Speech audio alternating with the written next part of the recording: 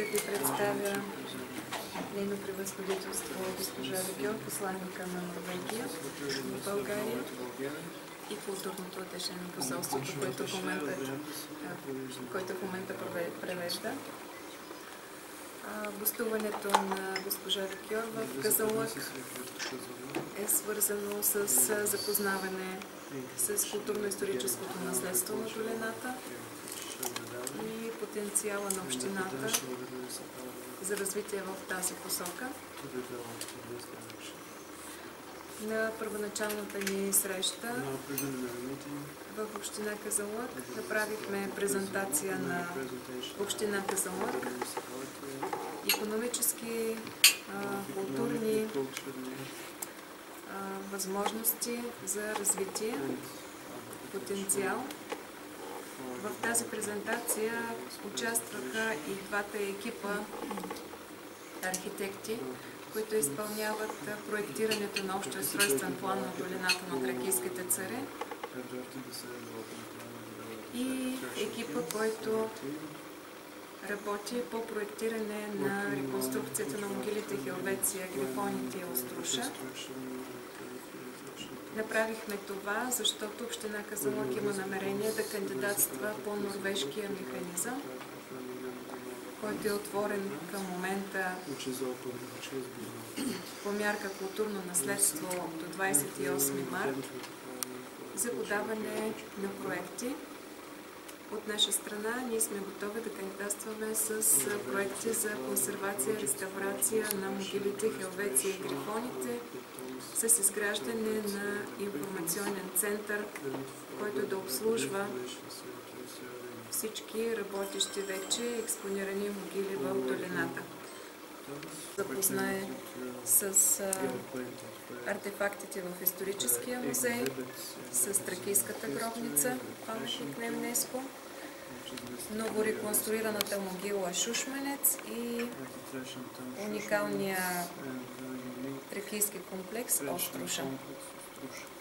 Така че се надявам да споделя с вас впечатленията си от днешния ден.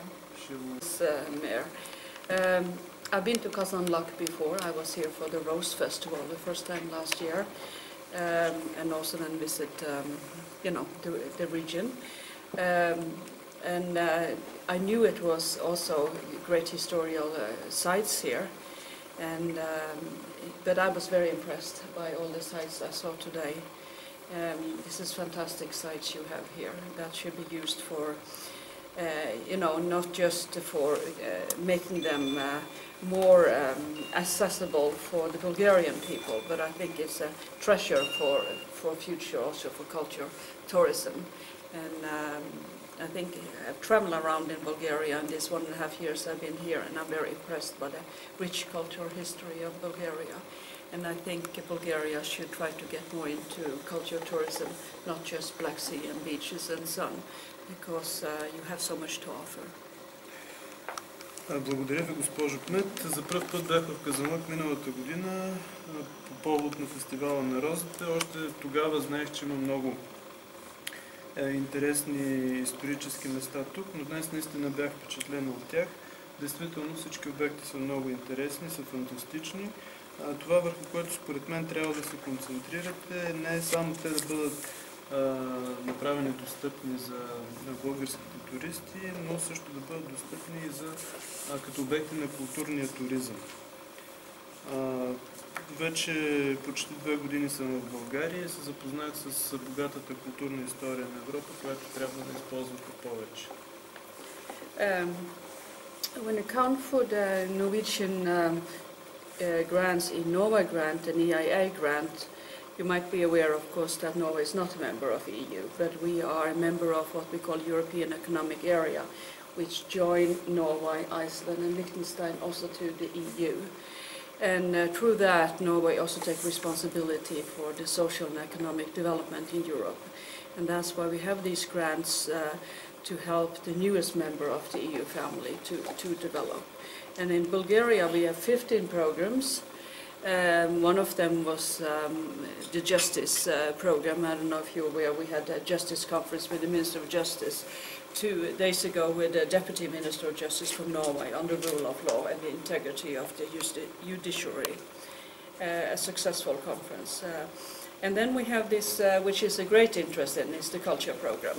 And of course, we are aware of there are more, much more projects and there is money for it. Uh, and you have great projects in Bulgaria because all of these sites. Um, we uh, um, hope that the Norwegian money, which is our taxpayers' money, and you might be aware in Norway we pay very high taxes. We have high income too, but we pay 35% taxes. And it's my job also to be sure that uh, it's a, I'm, I'm not the one that decide on project, uh, but I follow how the money is used, and I want the money to be used well. I can face the Norwegian people and say that the money in Bulgaria is spent very well. It goes to the purpose. So um, uh, it's important for me that uh, when we have a limited amount of money on the culture means program, uh, I hope uh, the one, the Bulgarian who selected and the office in Brussels that, that finally approve it, uh, uh, take the best project, you know, regardless of influence from the municipality or whatever. I want the best project and also different kind of project and also that um, is the distribution in Bulgaria, not all center in Sofia, but that you can see in different region there, there are Norwegian projects.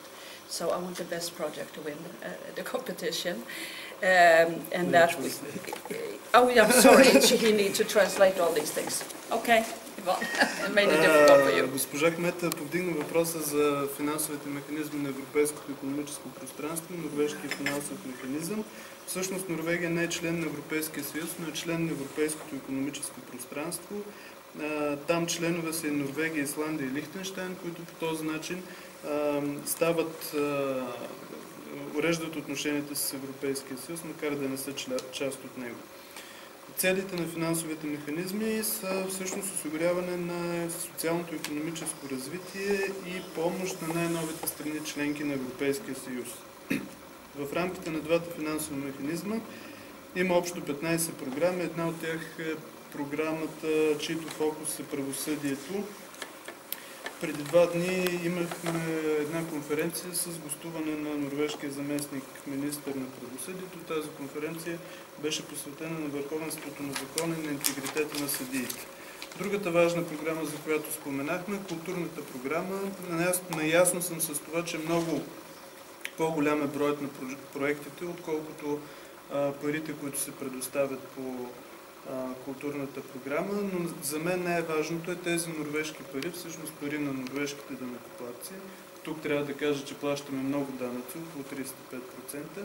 Та тези пари а, трябва да бъдат а, харчени по а, честен начин, използвани добре, така че когато срещна мои сънародници да мога да им кажа, а, че парите им са използвани по а, че са използвани за постигане на целите, за които говорих преди малко.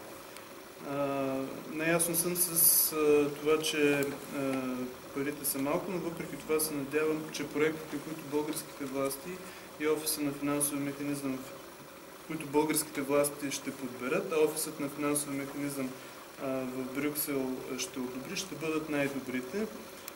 Има, разбира се, много различни проекти, но наистина държа на това да бъдат подбрани най-добрите. Освен това, се надявам и тези проекти да не бъдат концентрирани само в София, но и в цялата страна. I'd also like to say that uh, I wish um, uh, the, uh, the municipality of Kazan luck, luck in this process of applying for money.